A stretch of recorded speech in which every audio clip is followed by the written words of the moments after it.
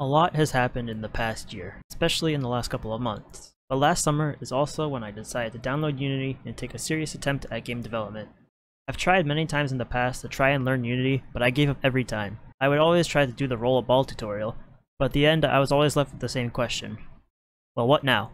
I've never had an idea for a game that I wanted to make, so I ended up just quitting. However, this time was different. I was going to learn from my past mistakes and do what I needed to start making my first game. This time, I started by doing the roll a ball tutorial. This time, I started by thinking of a game that I actually wanted to make. I've always been a fan of 3D platformers. Mario, Crash Bandicoot, Ratchet & Clank, A Hat in Time. I've played them all. Being such a huge fan of these games, I wanted to try and make one of my own. But I also wanted to add a bit of a twist. Last summer, the Crash Team Racing remake was released, and I played that for way too long. But it also helped inspire me to try out something new. I realized that I could try to make a racing platformer game. It would be like Mario Kart, but without the go-karts. Finally, I had a reason to start learning Unity, so I started looking up everything I could to learn how to make this game. I watched a lot of videos by people like Jason Weimann, Games Plus James, and even the Unity master himself, Brackeys. I even started reading some of Unity's documentation, which is almost as fun as reading a dictionary. At this point, I was learning the basics of how to move objects around in Unity. It was starting to look really similar to a certain tutorial, so I had to change something. I took a break from Unity and moved over to 3D modeling software called Blender. I wanted to create a character for my game, so I watched a video to create a low poly character because I thought it would be easier, and it also said I could do it in 10 minutes. I followed along, but also made a few changes here and there to give it a unique look. One thing I noticed about popular mascot characters is their body proportions. You can break their bodies down into three equal sized parts. Their heads are usually about the same size as their torso, which is also about the same size as their legs. In the end, I was left with this. I don't know about you, but I think I might be putting Nintendo out of a job soon. Now I could just take this and put it in Unity, but it wouldn't look very good, so next I tried to make some animations. I started by making some animations for running and jumping, and I kept adding new animations whenever I needed them. Summer was coming to an end soon, and school would be starting back up, so I knew that I would have less time to work on my game. As expected, I didn't make any progress on the game during my fall semester, so let's just skip ahead. Near the end of November, I finally started to have more free time, and my semester was coming to an end very soon. I took this opportunity to start working really hard on my game again.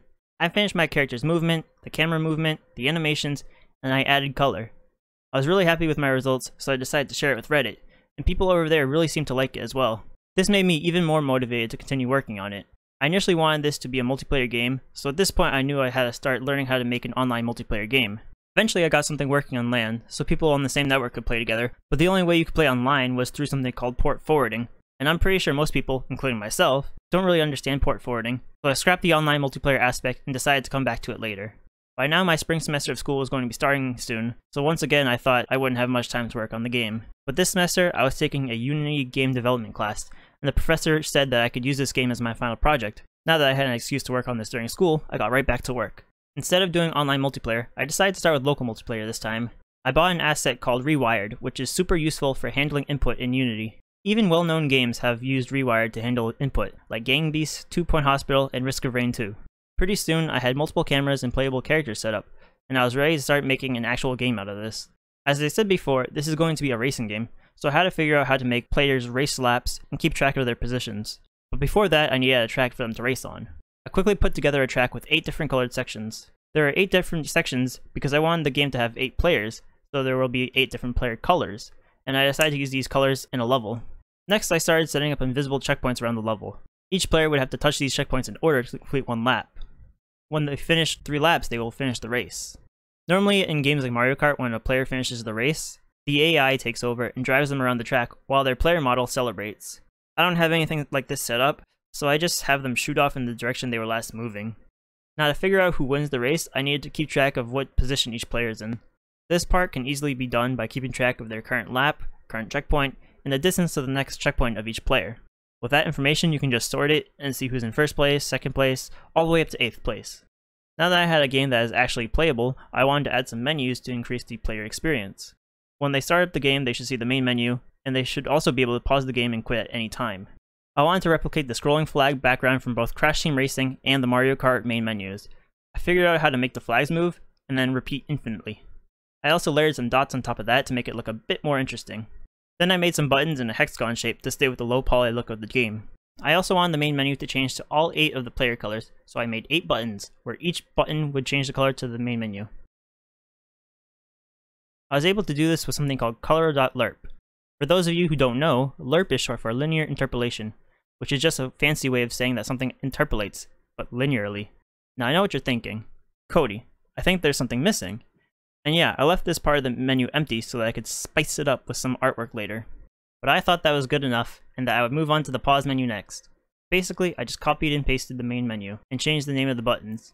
I also made it so that the color of the main menu represents the player who paused the game, instead of having the menu change colors. This way you could easily tell who paused the game. The end of my spring semester was coming up, so it was almost time to present this game for my game development class. People in the class seemed to really like it, and I even got a comment from my professor telling me that I should continue working on it over the summer, and that's exactly what I've been doing. Once summer started, I started to think of what to do next, and I wanted to add some artwork and make some power-up items like the ones in Mario Kart. I went to Reddit and found an artist named Alex, who had an art style that I really liked. I'll leave a link to his work below. His previous work has been on board games, but I figured video game art wouldn't be all that different, so I reached out to him and he agreed to work with me. We talked back and forth about what kind of artwork we should put in the main menu, and now we're finally finished with all of them. Here's what the main menu looks like now. Every time Alex sent me a sketch or a finished piece, I was always smiling because not only did he redesign my character, but he made everything look so good. While he's working on these, I have also been adding a menu so that players could join in or drop out for local multiplayer. It also has a sub-menu for changing character customizations, but I don't have any costumes for the players to wear yet. Currently, me and Alex have been working on the artwork for power-up items. I'll show a couple of them here to give you guys an idea of what they look like. But this is where the game stands today. So what do you guys think of the progress that I made in the past year? Did I do a lot? Or does it seem like I should have done a lot more? Let me know in the comments below. Also, if you want to keep up with the progress of the game, I'll leave a link to our Discord in the description. I don't think I'll make another video on this game anytime soon, unless I have a major update to it.